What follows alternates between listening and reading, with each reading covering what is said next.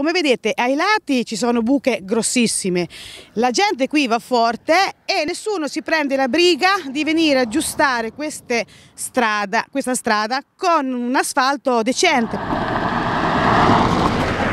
È un appello alle istituzioni, quello fatto da Daniela Pascucci, che vuole attirare l'attenzione sulla condizione disastrata di via Borghetto nel comune di Colli al Metauro. Buche profonde, rattoppi avvallamenti rendono pericolosa questa strada, percorsa ogni giorno da pedoni, ciclisti e da centinaia di auto e mezzi pesanti. Ci sono delle buche che sembrano come crateri. Ieri pomeriggio una signora verso le tre con una panda ha preso uh, la la ruota, quella dalla parte non guidatore, eh, in pieno, l'ha praticamente rotta perché il tempo di entrare dentro casa mia la gomma gli, proprio si è, mm, insomma, si è, si è rotta. Ecco.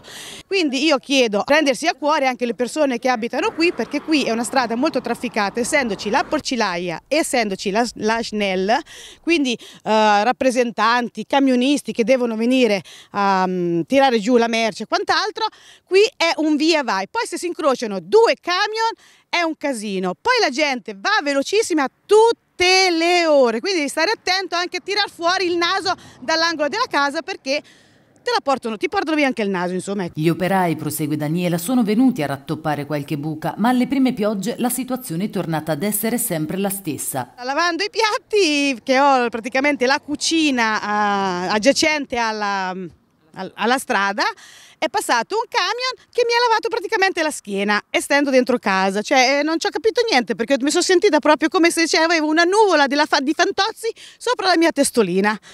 Finestra aperta? Avevo la finestra aperta perché giustamente d'estate è caldo. Una delle soluzioni, secondo la residente, sarebbe quella di aggiungere una cartellonistica adeguata per fare in modo che i camion e i tir vengano dirottati nell'altra strada, via San Liberio, che è più grande e asfaltata. Io richiedo di, di, di fare la strada come si deve, in più hanno anche la possibilità di allargarla, visto che c'è una zona industriale, dà la possibilità anche a queste persone di camminare meglio senza eh, dover andare fuori strada strada a destra o a sinistra oppure di fare un, un incidente frontale insomma.